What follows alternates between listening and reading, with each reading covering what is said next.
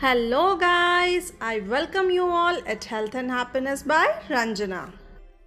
In this video, I'm going to share with you the recipe of these healthy and tasty samosas. They are healthier than the regular samosas because they are not deep fried but air fried and the crust is also not made with all purpose flour but with semolina and little bit of wheat flour. Just look at this beautiful golden color and the crust all around. Yes, the crust is really crispy and flaky because it is made with semolina and to bind semolina we have used little bit of wheat flour. So without wasting any time, let's start the recipe. Let's start with making the dough for the crust. Take a big bowl and take 1 cup of unroasted semolina in that 1 to 2 tablespoons of wheat flour for binding purpose, salt to taste, pinch of baking soda to make the crust crispy, 1 to 2 tablespoons of oil. As we are air frying the samosas we need little bit of oil in the dough. This is the only oil we are using in the recipe. Let's mix everything well with the fingers Mixing everything in semolina is much easier than mixing all these things in wheat flour or all-purpose flour. We could also add little bit of carom seeds or ajwain seeds in this but I'm avoiding them because the weather is quite hot these days. When you can bind the semolina in your fist like this means oil and everything else is mixed well and now mixture is ready to make the dough. Take little water every time and start making the dough. I took water in the same cup of semolina. For 1 cup of semolina, I have used half cup of water. I will suggest to use 1 tablespoon of water every time. Like that you can use 5 or 6 tablespoons. The quantity of water may vary depending on the quality of your semolina. Make a soft and smooth chapati like dough and cover it with a wet cloth and let it rest for at least 30 minutes. You can see here 1 cup of semolina took around half cup of water and remaining half is still there. Let's start the preparation of making the filling. Make a coarse paste of green chilies and ginger. Take half cup of roasted peanuts and coarsely grind them. Take some boiled potatoes and roughly chop them. To prepare the filling, start heating a pan on low flame. Add a teaspoon of cumin seeds and roast them. Let them crackle. When they are done, add a tablespoon of butter or ghee or oil, whatever you like. I am adding some homemade butter. Immediately add the ginger and green chili paste, otherwise the butter will burn.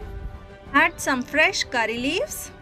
Mix everything for around 30 seconds to 1 minute till you get the nice roasted aroma of these spices. Then we will add the roughly chopped potatoes.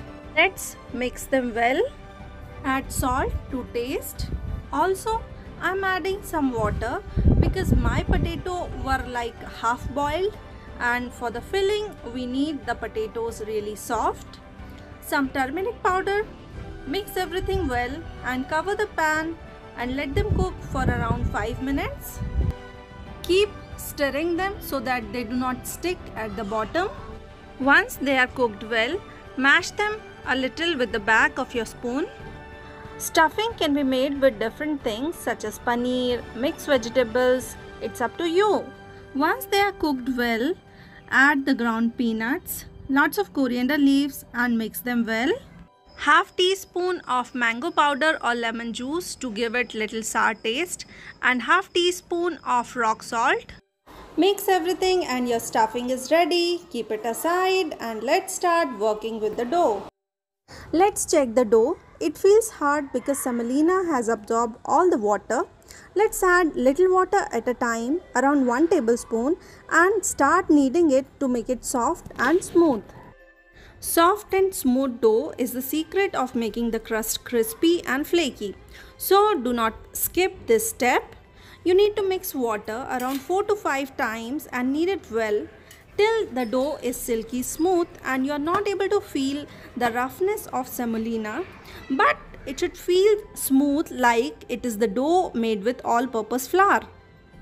My soft and smooth dough is ready. Let's divide it into lemon sized portion to make the samosas.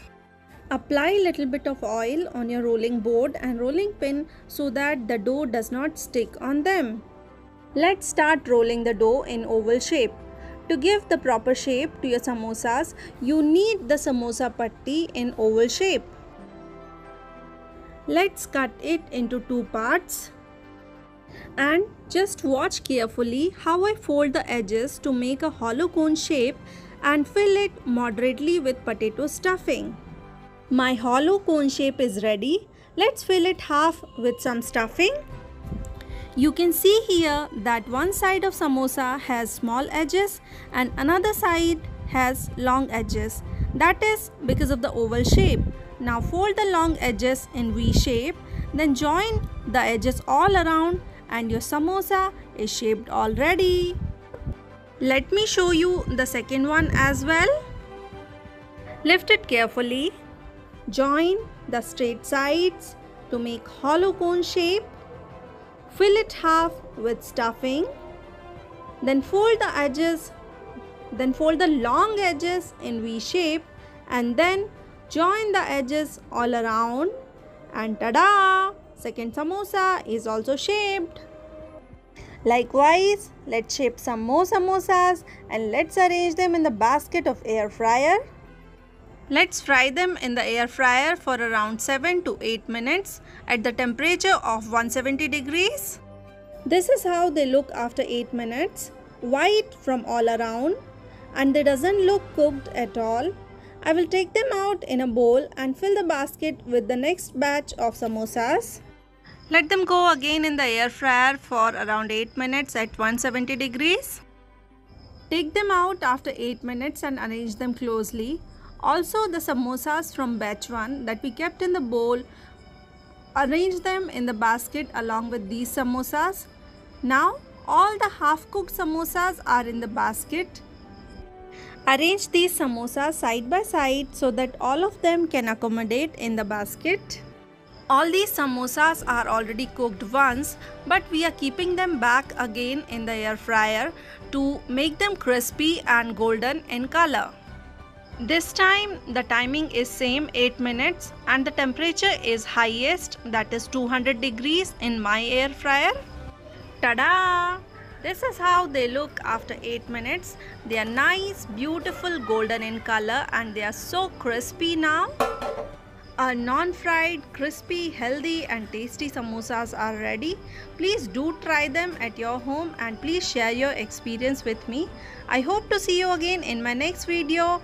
Till then stay happy, stay healthy. Bye-bye.